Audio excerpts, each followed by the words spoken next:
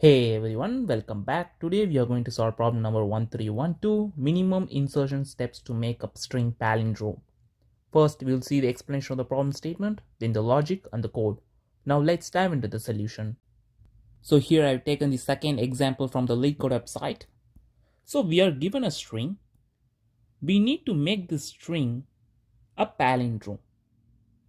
So to make this string as palindrome, I can only use the given characters in this string. So I need to find the minimum number of insertion of characters in this particular string to make the string as palindrome, right? So I'm going to use dynamic programming approach to solve this problem. So now we will see how we are going to do this. So here I've created a dynamic programming array for the length of the characters that is 5 here so I've created a list of 0 for the length of string, right? Then I will be writing two for loops. So where my first pointer starts from n minus 2 and reduces to 0. So I will run till my i pointer is 0, right? So the n minus 2 refers to the second to last index in the input string. So which is nothing but it represents the second to last character in the input string, right? So n minus 2 will be 3, right? 5 is n minus 2, 3. So it represents the character D, the third index in my input string, right? So initially my i will start from 3. Then I will be having a variable previous where I will initialize to 0. Then I will write another for loop where I will run from i plus 1 to n. So my j will start from 4 to n, right? Then I will create a temporary variable.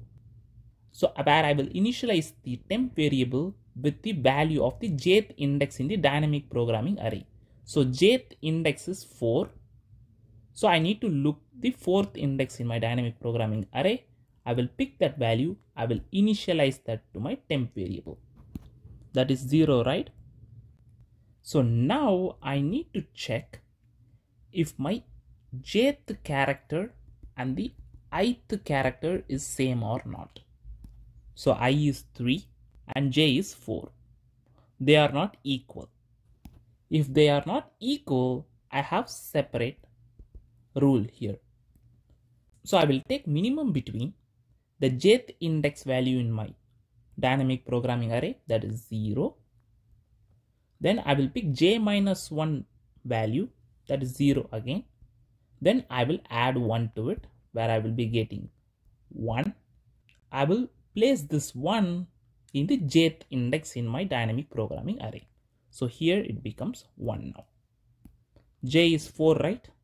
So in the jth index value I will replace with 1 so now I will initialize temp value as the previous value, right? After each and every iteration in the jth for loop. This will be the case here. So my previous becomes 0. Anyways, it is 0 previously, so it doesn't matter here. So now we are done with the for loop. That means the second for loop the jth for loop is done right? 4 to 5 is done. We are not going to pick the fifth index which is invalid. So we move on to the previous for loop and this will reduce to 2 now. So i will become 2 then i will initialize previous as 0 then i will start my jth for loop from i plus 1 index to n. So it starts from 3 now. Then i will initialize temp variable with the jth index value in my dp array that is 0 so it will be 0 only right?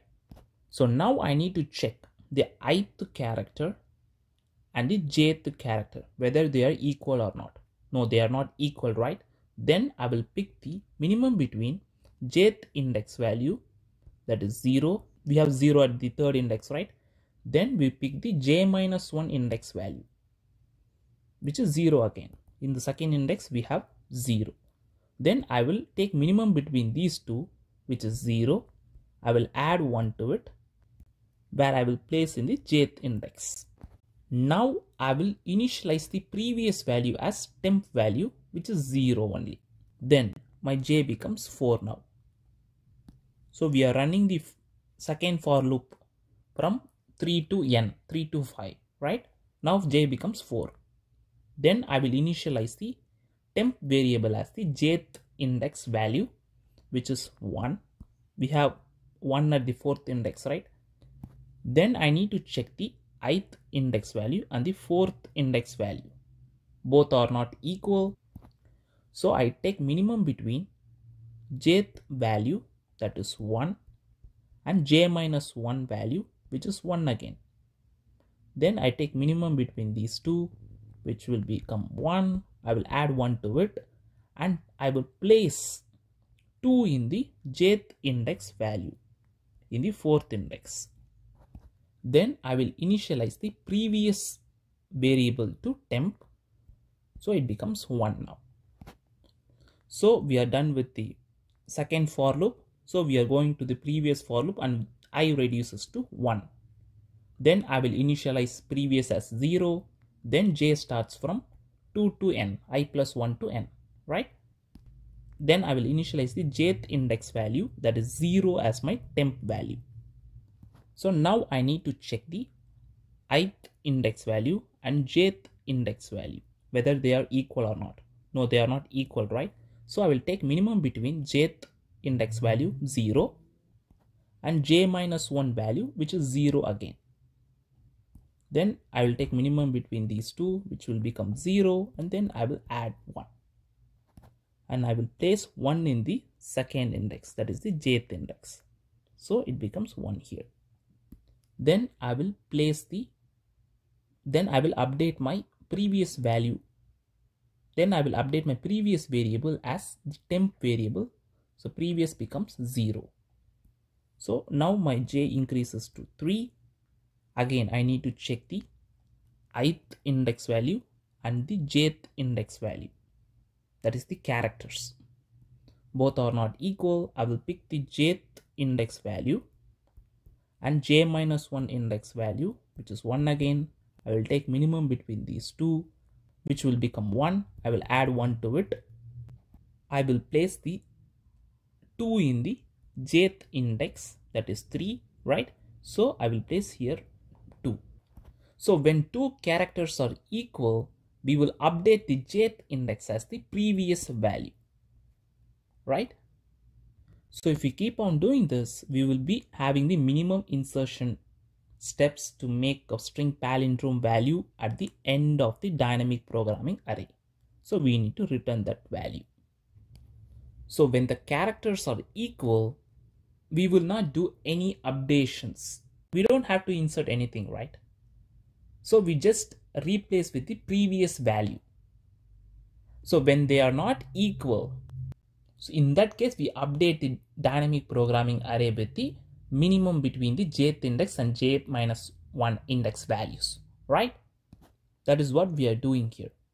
So that's all the logic is. Now we will see the code. So before we code, if you guys haven't subscribed to my channel, please like and subscribe. This will motivate me to upload more videos in future. Also check out my previous videos and keep supporting guys. So initially I'm taking the length of the input string as n. Then I'm creating the dynamic programming array with a list of zeros using the input length. Then I will run a for loop starting from n minus 2 value till 0 then I'm initializing previous variable as 0 at the start. Then I will write another for loop where it starts from i plus 1 to n and I'm initializing temp variable as the current jth index value, right? Then I will check whether the current character j is equal to the second last character i. If they are equal, I don't have to make any insertions. So I will just update the dynamic programming array that is the jth index value as the previous value itself. I don't have to make any insertions here. And if they are not equal, then I need to make some insertions. So in that case, I will take minimum between the jth value and j minus 1 index value from the dynamic programming array and I will add 1 to it and I will update that value in the jth index. Then I will initialize my previous variable as temp. Then finally, I will return the last value from my dynamic programming array, right? That's all the code is. Now we will run the code. As you guys see, it's pretty much efficient. So the time complexity will be order of n square and space will be order of n, right? Thank you guys for watching this video. Please like, share and subscribe. This will motivate me to upload more videos in future. And also check out my previous videos. Keep supporting. Happy learning. Cheers guys.